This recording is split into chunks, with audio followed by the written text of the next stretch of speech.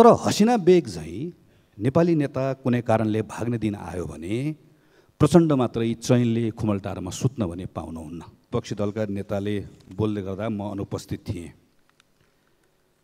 मलाई सुन्न मन थियो। हिजो पत्रिकामा एउटा टिप्पणी पढिसके पछाडि अझ सुन्न मन भयो र मैले रेकर्डमा गएर सुनेँ। मलाई सुन्ने गर्दा ठिकै लाग्यो। कतिपय कुरो चित्त पनि बुझ्यो। खास गरी केमा भने प्रमुख विपक्षी दलको नेताको तर्फबाट सरकारलाई राम्रोसँग खबरदारी गरिएको थियो। थुप्रै प्रश्नहरू गरिएको थियो। स्वाभाविक रूपमा आलोचनाहरू थिए कटाक्षहरू थिए। मलाई लाग्छ अपोजिसनको कामहरूमध्येको मुख्य काम हो यो। लोकतान्त्रिक प्रणालीमा सरकार हुन्छ प्रतिपक्ष संवैधानिक प्रबन्ध मात्र होइन सामान्य सभा महोदय। यो व्यवस्थालाई सार्थक बनाउने हो भने प्रभावकारी प्रतिपक्ष अनिवार्य शर्त हो। त्यस कारणले गर्दा पनि मलाई ठिक लाग्यो। यद्यपि उहाँका प्रश्नहरूमाथि मेरा प्रतिप्रश्नहरू रहने नै भए। आलोचनाहरू सुन्ने गर्दा केही दिन अगाडि तपाईँ आफै सरकारमा हुनुहुन्थ्यो भनेर बोल्न मन नलागेको होइन। समावेशी समावेशी भन्दै गर्दा ऐना देखाउन मन नलागेको पनि होइन। त्यो अरू कुनै बेलामा गरौँला।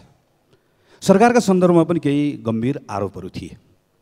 यसका बारेमा पनि म अहिले केही धेरै भन्दिनँ। सुशासनका सन्दर्भमा सरकारले यसको खण्डन गर्छ मेरो विश्वास छ।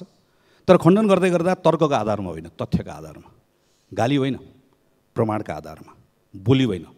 कर्मका आधारमा सरकारले गर्नुपर्छ गरोस् भन्ने मेरो शुभकामना पनि छ र मेरो विश्वास पनि छ।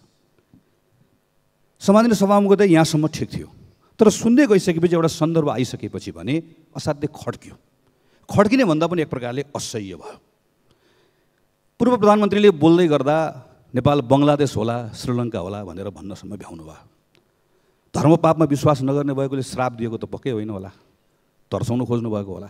सामाजिक विस्फोटहरू उत्पन्न हुन सक्ने सम्भावनाहरू छन्। नभएका होइन निराशा छ उकुस मुकुस छ। तर हसिना बेग झैँ नेपाली नेता कुनै कारणले भाग्ने दिन आयो भने प्रचण्ड मात्रै चैनले खुमलटारमा सुत्न भने पाउनुहुन्न। त्यसैले बोल्दै गर्दा बरालिएर कति पर गएर बोलेछु भनेर प्रचण्डले आत्मसमीक्षा गर्नुपर्छ भनेर उहाँले भन्नुहुन्छ। गर्नु चाहिँ गर्नुहुन्न मलाई थाहा छैन। Nepalcover.com.